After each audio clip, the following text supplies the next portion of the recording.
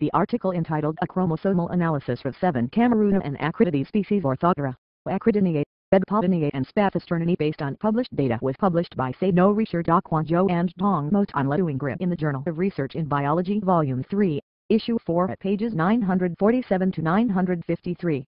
The summary of this article goes on as follows. So far, the karyotypes of seven Acrididae species from Cameroon have been reported.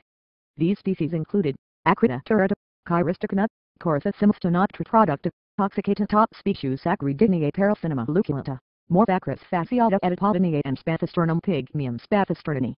Karyotype and meiosis relationships among these species were analyzed from published data. The species had a common karyotype made up of 23 acrocentric chromosomes. Males The sex mechanism in all seven species was XXXO and meiosis was normal and chiasmate.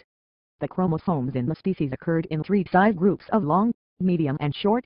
The number of chromosomes per size group however varied among the species. A turrita equals for LL colon 5 mm colon 2 SS, C cana equals for LL colon 4 mm colon 3 SS, C stenoptera product equals 2 LL colon 6 mm colon 3 SS, O spissus equals 5 LL colon 3 mm colon 3 SS, P. luculenta equals 6 LL colon 2 mm colon 3 SS, M. fasciata equals 6 LL colon 2 mm colon 3 SS, and S pygmaeum equals 2 LL colon 7 mm colon 2 SS.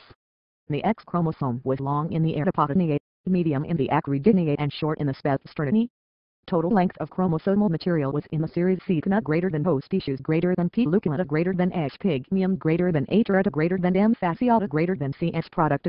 You may also publish your research articles with us with good review and elite standards. Kindly visit www.jresearchbiology.com for further details.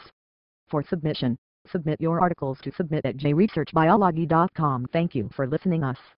Keep watching and learn good. This audio was brought to you by www.rjol.org.